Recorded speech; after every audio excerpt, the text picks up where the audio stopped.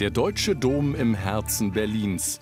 Das Bauwerk wurde einst von König Friedrich II. in Auftrag gegeben und 1785 nach fünfjähriger Bauzeit fertiggestellt.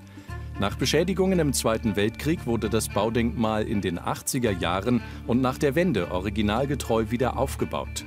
Zusammen mit dem französischen Dom gegenüber und dem Schauspielhaus bildet das Gebäude ein dreiteiliges Ensemble auf einem der schönsten Plätze Berlins, dem Gendarmenmarkt. Was der Blick von außen nicht verrät, der Deutsche Dom beherbergt eine der erfolgreichsten Dauerausstellungen in Deutschland und thematisiert die Entstehung der Demokratie, wie wir sie heute kennen und leben.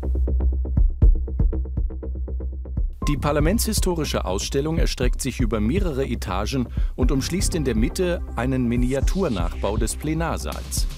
Während dieser im nur wenige hundert Meter entfernten Reichstagsgebäude jedoch einzig den gewählten Abgeordneten vorbehalten ist, können die Besucher im Deutschen Dom auf den markanten blauen Stühlen Platz nehmen und eine Bundestagsdebatte nachempfinden.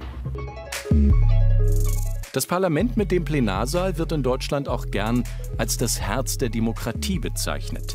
Der Gang durch die Ausstellung zeigt aber auch den langen Weg dorthin und vermittelt die Verletzlichkeit des politischen Gemeinwesens.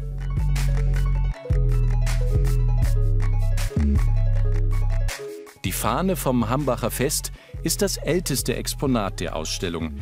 1832 bildete sich im bürgerlichen Milieu der Gedanke von Mitbestimmung und geistiger Freiheit. 1848 versammelten sich zum ersten Mal die gewählten Volksvertreter in der Frankfurter Paulskirche zu einer Nationalversammlung. Das detailgetreue Modell zeigt somit das erste deutsche Parlament.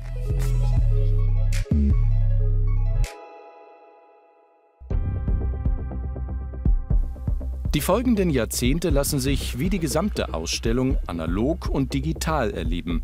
Zeitungsartikel, Fotos, Zitate, der Gang durch den Reichstag um die Jahrhundertwende ist ein Erlebnis, macht Geschichte greifbar und begreifbar. Über allem schwebt der Geist von Mitbestimmung und geistiger Freiheit.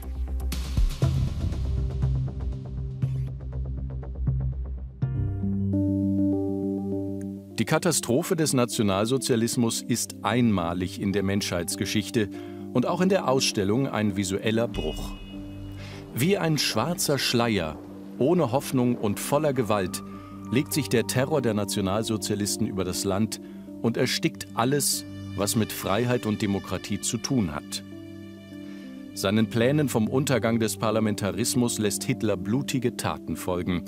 Die Liste der ermordeten Abgeordneten ist lang. Am Ende liegt das Land in Trümmern. Millionen Menschen sind gestorben, Millionen wurden ermordet. Die Ausstellung widmet sich in der Zeit nach dem Krieg dem geteilten Deutschland. Sie zeigt die Entstehung der Bonner Republik im Westen und den gescheiterten Versuch eines Sozialismus mit menschlichem Antlitz im Osten.